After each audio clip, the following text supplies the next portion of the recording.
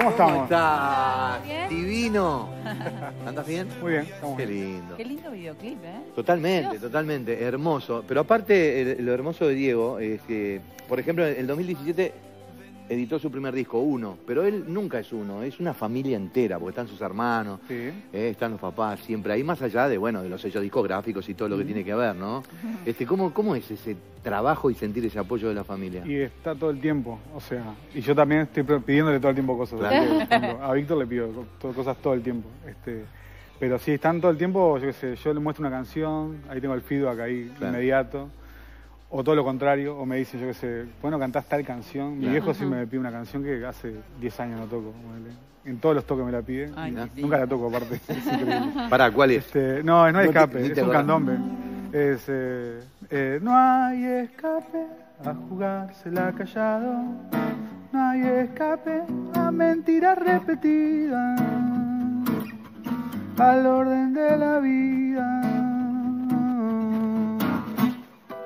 Eso, más por ahí. Ahí la, ahí la tuviste un pedacito. Pero siempre, ¿eh? ¿viste? Y después está, eh, yo trato de, como en ese círculo de confianza, cada vez que voy haciendo algo nuevo, la tiro y veo cómo rueda. Claro. Ah. Este, y casi siempre es bueno. Bueno, Víctor eh, siempre te aconseja en lo visual, ¿no? Siempre está Sí, muy metido o sea. ahí. ¿Y el Ale? El Lale, por ejemplo, mira, el Lale, en- hay una canción que vamos a sacar ahora, que se llama Montevideo.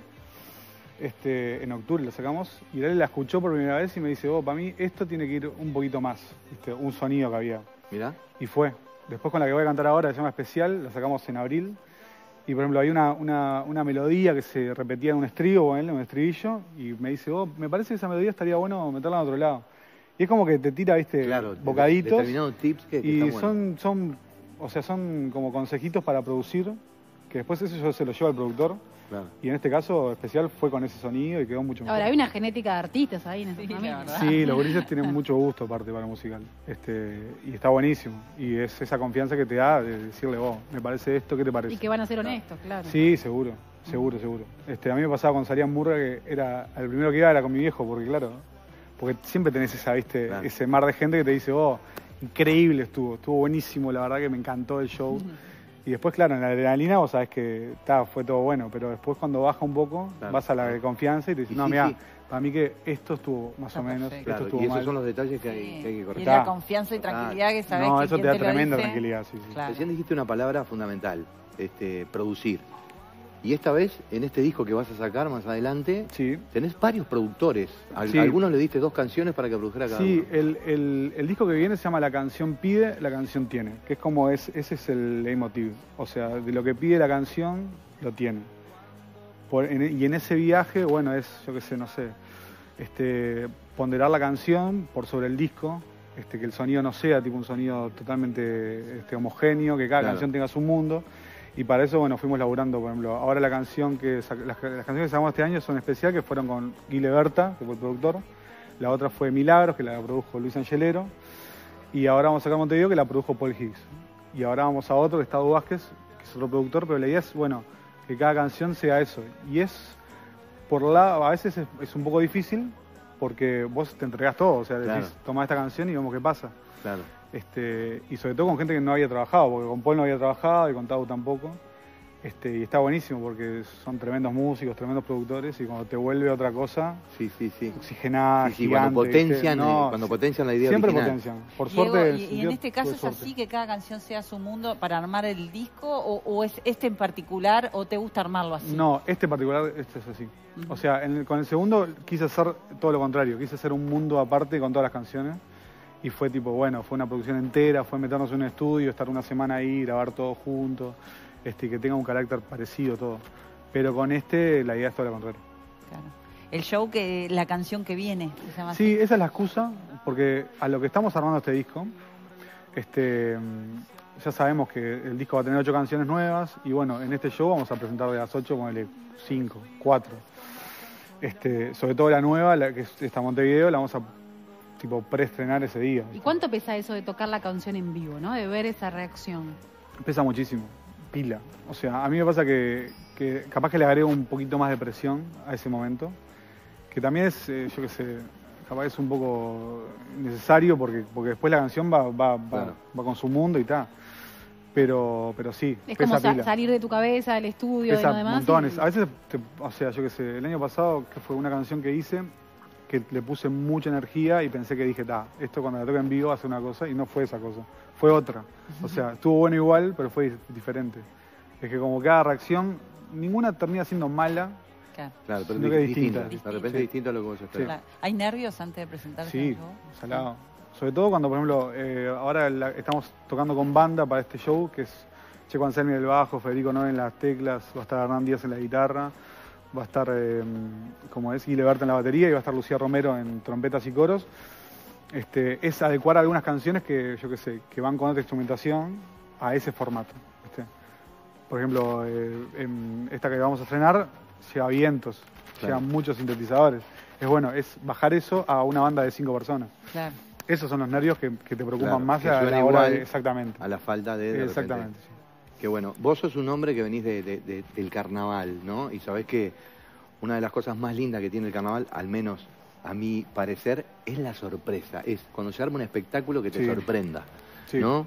¿Cómo, ¿Cómo transportás eso a tus espectáculos? Que seguramente te juega a favor, pero también Sí. decís, bueno, a veces te, te suena que está todo inventado, ¿qué voy a hacer, no? No, pero en, en ese viaje a mí lo que me pasa con eso es, eh, por un lado, este, que cada show que armo relativamente grande, porque estos shows son grandes, es bueno nutrir las canciones con otros invitados, buscar la vuelta de que sean distintas.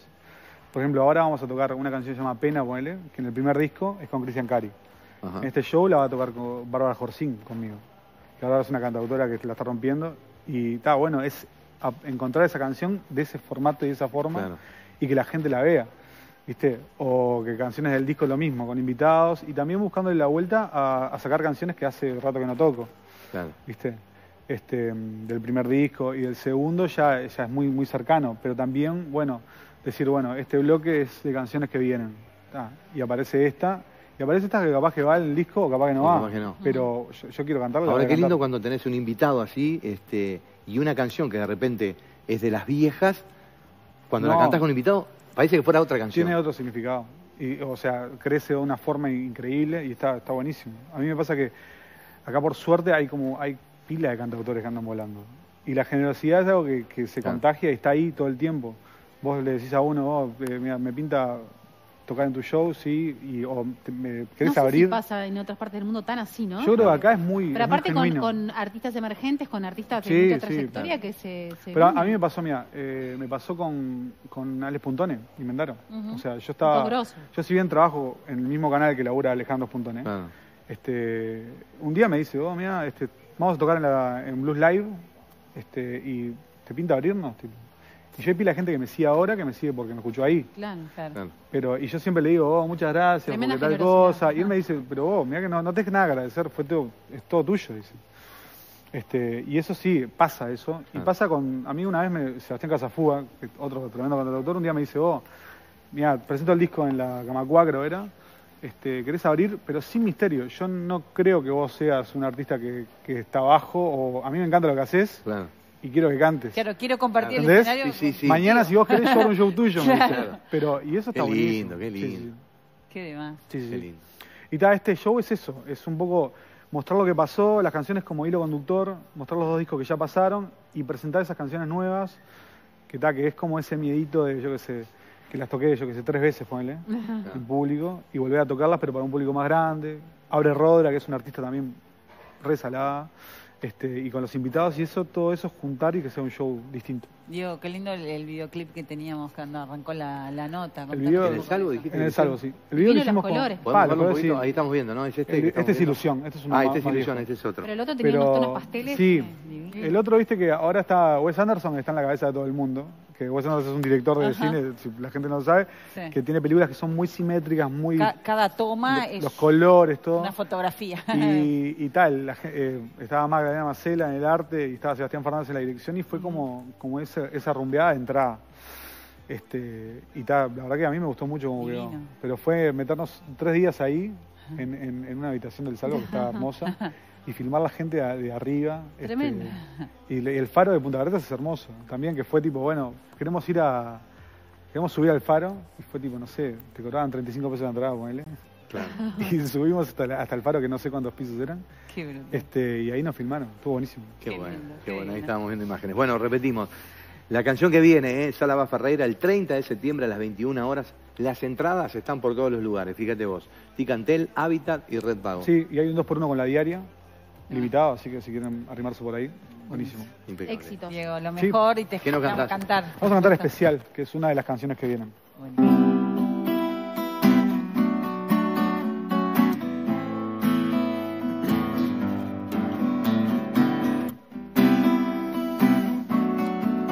De nuevo acá, lo siento, será que insistir es mi cuento y vos ahí te veo, pero no estás. Lo siento, no lo siento, otra vez volvemos a perdernos, puede ser que todo sea verso especial.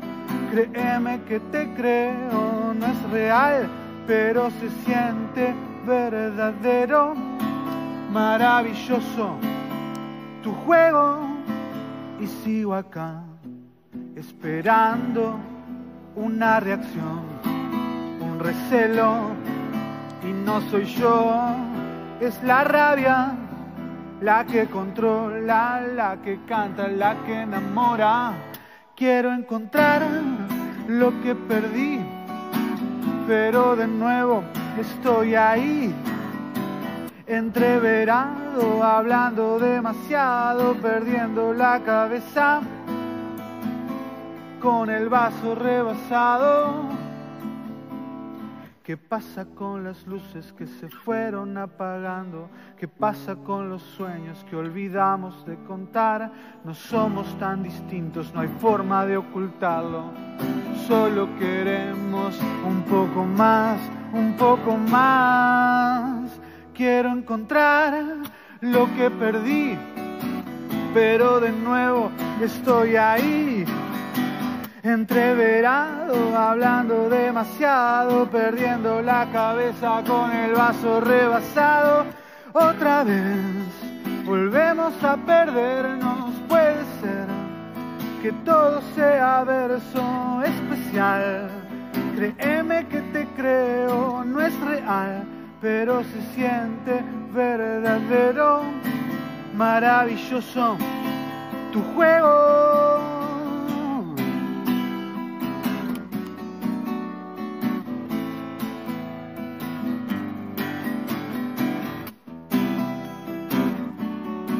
de nuevo acá. Lo siento, será que insistir es mi cuento. Bravo. Gracias, Diego. Muchas gracias. Éxito. Y de acá nos vamos al móvil con Nadia. Estamos contigo, Bella.